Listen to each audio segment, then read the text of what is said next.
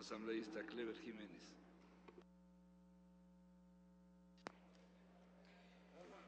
Gracias, señor presidente. Compañeros y compañeras asambleístas.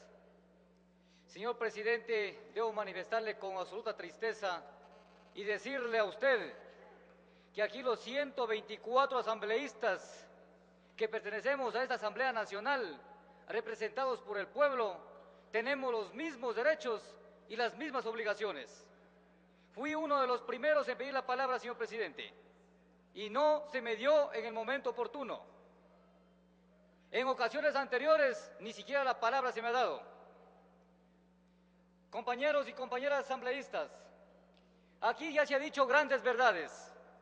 Este proyecto de reforma a la ley orgánica de la función legislativa es completamente inconstitucional.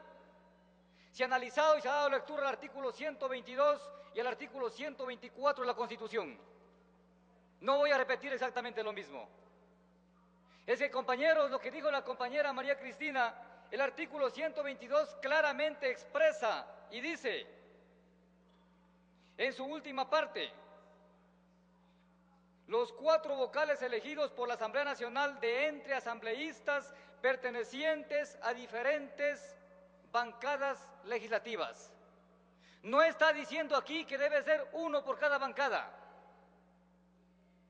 Está pensando claramente que deben ser de diferentes bancadas legislativas. No menciona cuántos deben ser, compañeros y compañeras. La razón, estimados compañeros y compañeras, no pide fuerza. Tenemos que darle paso a este vacío no constitucional, a este vacío legal existente en la ley orgánica de la función legislativa.